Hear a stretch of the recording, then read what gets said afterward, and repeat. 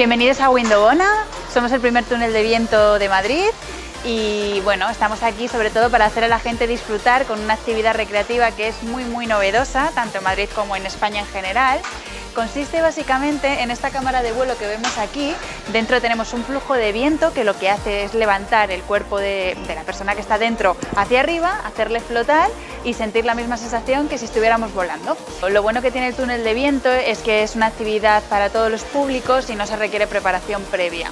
Desde los cuatro años de, edad aquí tenemos a niños, a familias, a parejas, eh, todo tipo de públicos. Estamos justo enfrente del centro comercial Isla Azul, muy bien comunicados en coches, la salida 27 de la M40 y también muy bien comunicados en transporte público, tanto en metro como en autobús.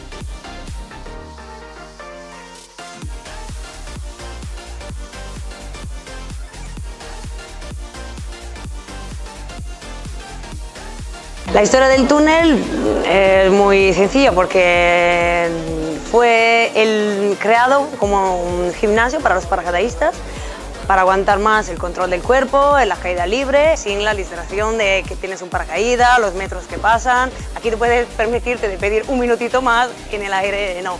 Y luego empezaron a experimentar esa, esa máquina de vuelo también la gente normal para probar lo que era la sensación de la caída libre, de tirarse de un avión, pero claro, eso lo pueden hacer de los niños, la gente que tiene vértigo.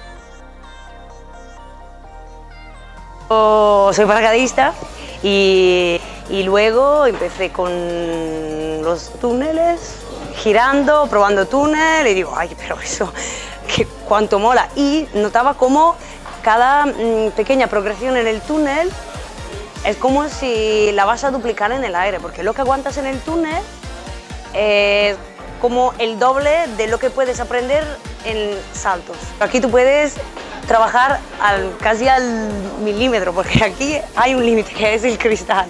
Y en el cielo, claro, tienes un poquito menos de referencias, puede permitirte algún pequeño fallo, nada, nadie se da cuenta de eso. Pero aquí tú puedes trabajar sobre lo que es posición, control del cuerpo y que sea perfecto.